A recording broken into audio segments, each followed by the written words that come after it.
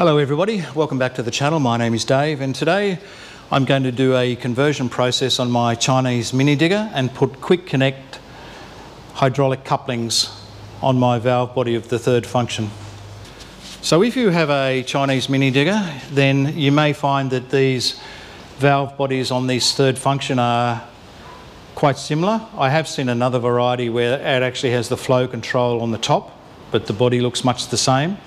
In my case, this black control here has a notch in it, and basically when it's upright, it blocks the flow coming through the valve body. When you turn it and it runs this way, then oil flows from the input to the output. So at the minute it's turned off.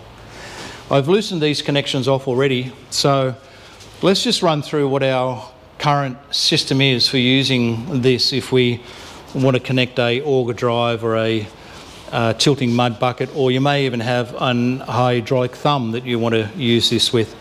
So what we would have to do is remove this dust cover and put it somewhere where you're not going to lose it or it's not going to get dirty.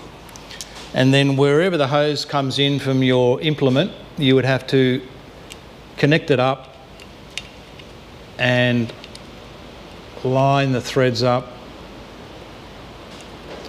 and put it in, tighten it up, and then we could be off using whatever our attachment was. So that's what we've got currently. So that's the, as it comes from the factory. So what we're going to do is do the conversion process. It's really quite quick. So the first thing we're going to do is actually replace this part only. And this is called a hydraulic nipple coupler. And I've loosened this off with a spanner, so I'm just going to spin it out so we can have a look at what it is.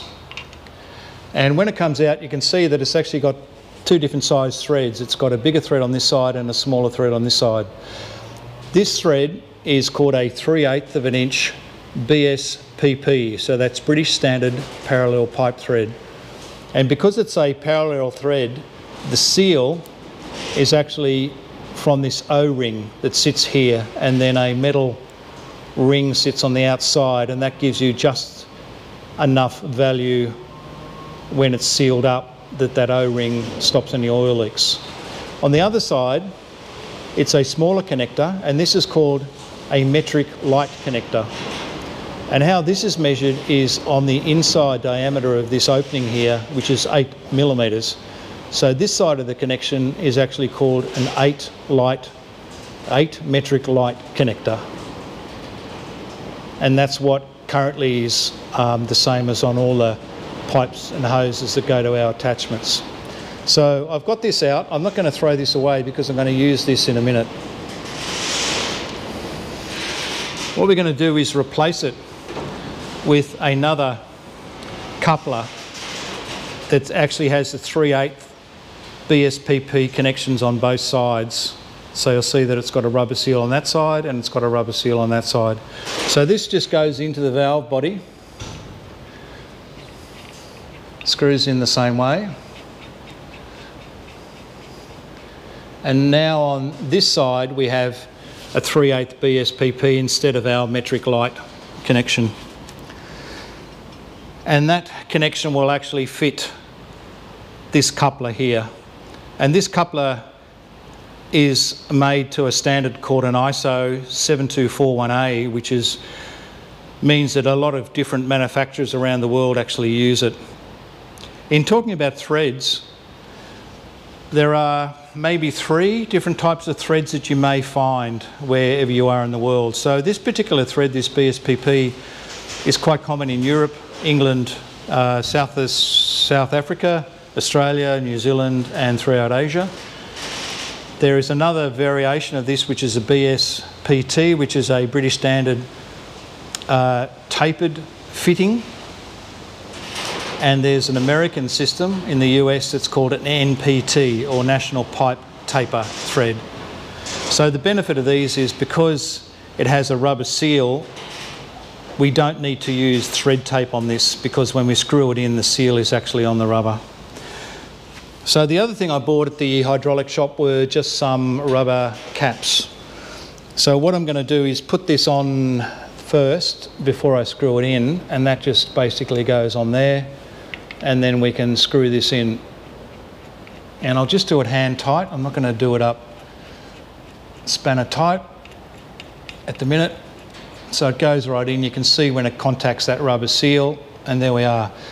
And the beauty of these rubber plugs, and they're really, these are quite cheap, they're only a couple of dollars each, is it allows you then to um, seal that up when you're not using any attachments and it keeps all the dirt out of that connection side. So we've got that sorted now for the valve body. If we go back to our hose, and that's our hose there. So I'm going to now reuse this one that came out of the block here and put the metric to the metric side here. And this seals by a rubber O-ring that's in there. So that's a different sort of system that fits inside. And then we put this on. And once that's on, then that thread there is the same 3 8 BSPP that we've put in here. So then you can get the male connector and that just goes on the top there. Screws in the same way. Again, there's a rubber seal there. It goes all the way down to the seal and then it tightens. And then that's on the pipe. And the same we can do here is put a rubber dust cap on there. So when we're not using it, we can actually push the rubber cap on and that stops dirt getting onto the end of our connection there. So then the benefit of the quick connects is that you just basically have to line them up, uh, pull the collar back, push it in, and then it locks down and that's our connection. And it makes it a lot easier than having to manually unscrew it and then line it up and put it back together. And then undoing it is just pulling the collar up and it comes out and put your dust cap back in and then away you go. My connectors are called the poppet style connector. So in these ones I have a small centre pin here and it's called a poppet style. The other types that you can get are a half ball or a half moon type in the middle here and the third style is a flat face connector. Now I bought these ones because the hydraulic shop recommended these because they're most common where I am so if you had another piece of equipment turn up, chances are it would have this same sort of male connector on it. The downside of this particular style connector is every time you disengage the quick coupler is there is a chance of having some oil leak out of the connection. If you have the flat style connection, which is the newer design, is the almost guarantee that when you disconnect them that there is no oil comes out of them at all. It's less than like one mil. But you pay for that as well. Um, I think the difference between buying a poppet style connector and a flat style connector, I think the flat style ones are about double the cost of these ones.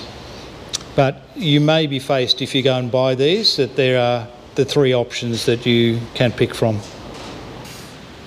This is what you're going to need to do your conversion. So you're going to need to buy two female quick connect couplers the size of those are 3 8 of an inch and the thread is BSPP.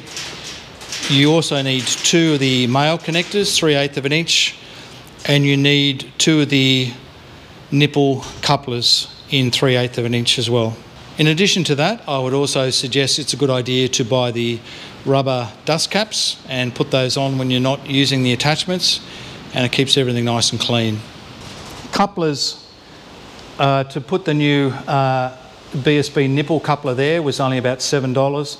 The actual part of the female quick connects was about $35 and then the male end here was about $18 and the plugs are two or three dollars each these rubber dust plugs. So that's all pretty cheap. So what would happen then if you have another attachment? And in my case I've got an auger drive so I've got two of these pipes that come from the auger drive motor, so one to this side, one to the other side. On my tilting bucket, what I would have to do is go and buy another two of these male connectors and another two of these nipple couplers that had BSP on one side and 8 metric light on the other side.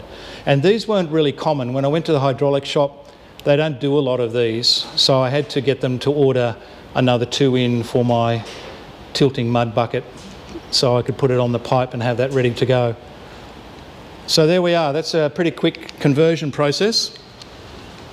It's not very hard to do, but I just, it took a while for me to actually find a supplier um, that had the right bits, that knew what I, I wanted rather than doing a big long conversion with lots of different types of things in there. But once it's on, it's a great process that allows you to put it on nice and simply and makes it a lot easier when you're swapping attachments. All right, that's about all for this video. I appreciate everybody watching. If you've got any comments or suggestions, please leave them below. And thanks for watching, and we'll see you on the next one.